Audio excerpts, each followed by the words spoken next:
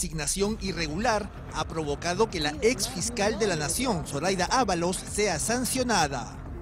Y es que la Junta Nacional de Justicia decidió suspender por 30 días a la ex titular del Ministerio Público tras determinarse que nombró como fiscal superior adjunta de Piura a Carla Bordiú Zavala, la hija de su amiga y comadre María Zavala Valladares, quien es parte precisamente de este organismo autónomo. Tenemos que ver si esta contratación es una contratación casual, es una contratación por tarjetazo. Lo menciono por lo siguiente, ¿no? porque según lo que he podido revisar, la defensa de Soraya Dávalos es que no hay un procedimiento para nombrar a provisionales, ¿no?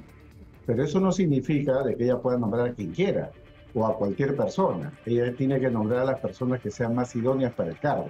La relación cercana entre Zoraida Ábalos y María Zavala quedó acreditada desde el inicio de la investigación que se originó a raíz de un reportaje de Panorama.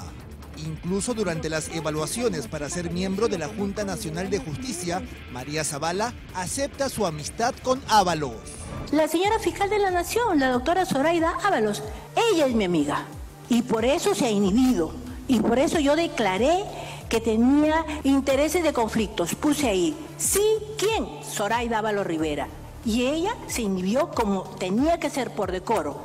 La conducta de la ex fiscal de la Nación fue considerada como una falta grave y se determinó que había incurrido en un grave conflicto de intereses.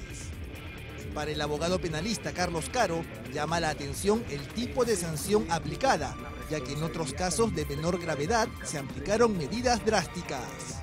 Se le está suspendiendo por solamente 30 días siendo la fiscal de la Nación, habiendo ella simplemente contratado o directamente contratado cuando en otros casos la Junta ha sido radical, absolutamente desproporcionada en aplicar, por ejemplo, una destitución.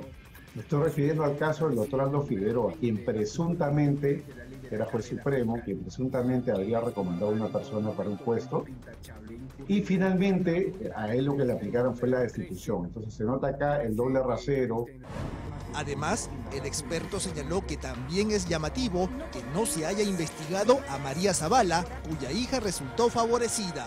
Un tema que tendría que indagarse necesariamente, porque estamos hablando aquí de la comisión, digamos, de presuntos actos de tráfico de influencia o posible, digamos, patrocinio ilegal, ¿no?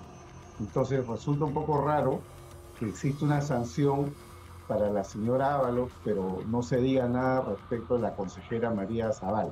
Cabe señalar que la denuncia de Panorama se dio a conocer en enero del año 2020. Casi tres años después, y tras la denuncia de un ciudadano, la Junta Nacional de Justicia recién emite una resolución.